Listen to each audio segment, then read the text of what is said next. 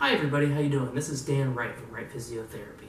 Um, I'm here today to demonstrate an osteopathic treatment technique of a dysfunction of the low back called an FRS to the right at L5.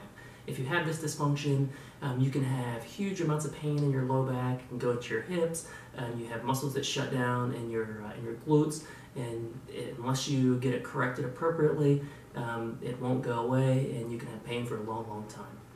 So first, what you do is you have the, uh, the patient, they prop up on their elbows, and you're looking to see the uh, movement of the L5 vertebra, and she is rotated to the right at L5, and that is what we're going to correct out. Um, so I will have her on her right side.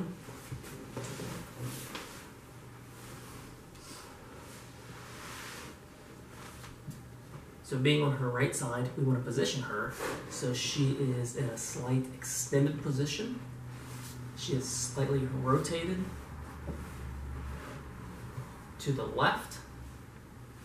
And then you go at the legs and you extend them slightly until you feel a little bit of movement of the L5 vertebra. And then what you do is you take the left leg and you lift it up until you just feel the L5 move. And then I want you to go ahead and gently push your leg down into my arm. And she will hold that from three to five seconds, and then go ahead and relax.